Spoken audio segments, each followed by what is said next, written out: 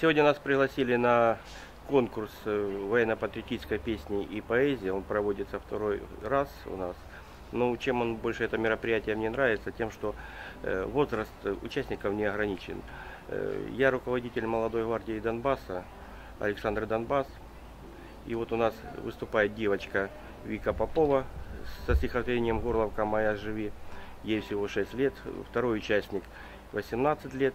И человек-поэт, не сильно известный, но у него прекрасное стихотворение, ему 60 лет. Так что будем смотреть. И один участник у нас поет. Интересное мероприятие, его организовали э, Союз ветеранов Донбасса «Беркут» и «Свободный Донбасс». Ну, я думаю, надеюсь на победу, и наши ребята поедут на Саур-могилу выступать.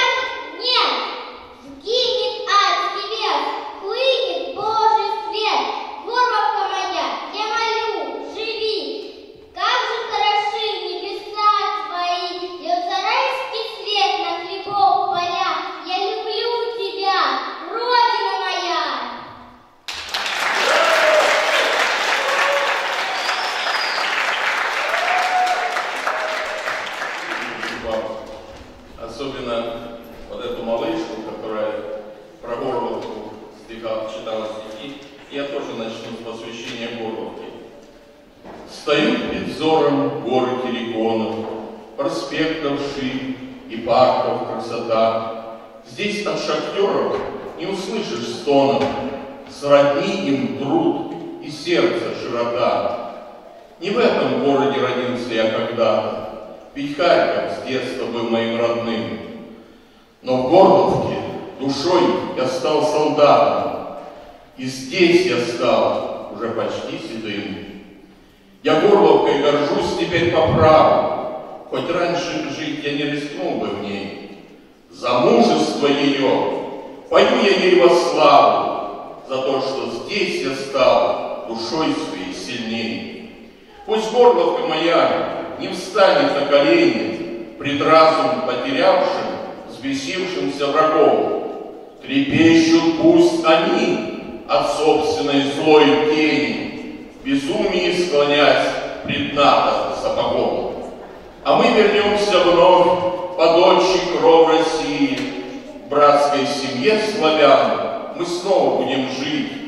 Ведь в правде Бог всегда, не в гордости, не в силе. Но с кулаком порой должна неправда быть.